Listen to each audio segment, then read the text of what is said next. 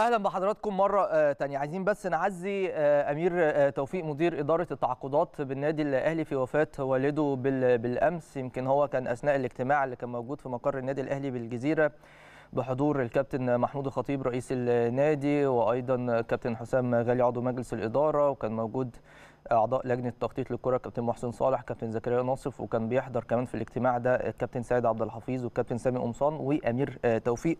وهو في الاجتماع كان جاله آه، رسالة يعني آه، بوفاة آه، والده. فطبعا مشي في نفس التوقيت بشكل سريع وكان منهار بشكل كبير جدا. وربنا يا رب يرحم آه، والده ويغفر له ويسكنه فسيح الجنات ويصبر أمير توفيق ويصبر أهله يا رب آه، كلهم ويمكن الصورة دي من آه، الجنازة النهارده بتاعت والد أمير توفيق موجود طبعا الكابتن محمود الخطيب رئيس النادي موجود كمان الاستاذ طارق أنديل عضو مجلس الاداره في في خلفية ال- الصورة والكل كان موجود طبعا لمواساة أمير توفيق وللوقوف بجواره في هذه المحنة يعني.